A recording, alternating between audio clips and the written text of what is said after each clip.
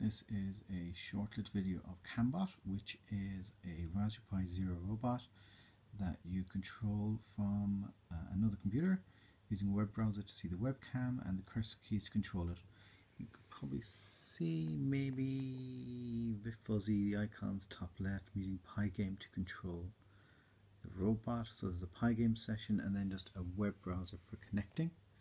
And if I then go for the keys, and again this could be any computer, so it's not specifically this one. If I start pressing buttons, you will see it driving around. If I come back here, you will see it drives around. There's a bit of a lag in it. This is a very, very low powered netbook, so on a more powerful computer the, uh, the refresh rate is far better.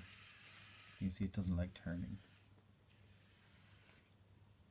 But it is driving around quite lightly. You can't hardly see it because it's behind the screen.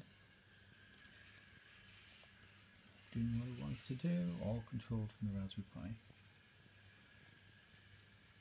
If you see as well, a lot of the bots that you see turn like a tank, so they lock one wheel and turn. This one it kind of does an arc. I've programmed it that way on purpose so it feels more like driving a remote control car with steering rather than a two wheel lock one wheel and turn the other one. So it's a little bit more realistic in how it turns. And the bot itself is a nice mess of wires. So you've got camera in the front, which is the uh, two pound camera off eBay. You've got a Raspberry Pi Zero, and underneath the Zero is very hard to see a uh, what's it called? A zero 4U four port USB hub which gives me the ability to plug in the USB camera and also a USB dongle using the batteries one for the Pi itself and another one underneath there if you can see it for the motors so two different power supplies and then a really really simple and basic chassis with an L9110S as the motor controller and if you look if I pick it up and soldering the wires. If you can see it. Uh, crossed over the wires so that there's no strain on the wires. Because to me that was a big problem with motors when I did a, a kids club was they basically pulled the wires in it and they just came off. So that's it.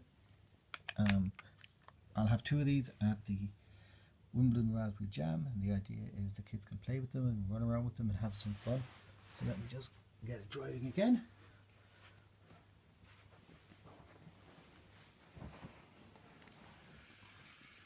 And that's it, running around. And this is it on camera. Yeah, it so doesn't like turning. I mean, this netbook is uh, not able to keep up with the video fast enough. There you go, just a little demo of Cambots, and there's going to be two of them at Wimbledon this weekend.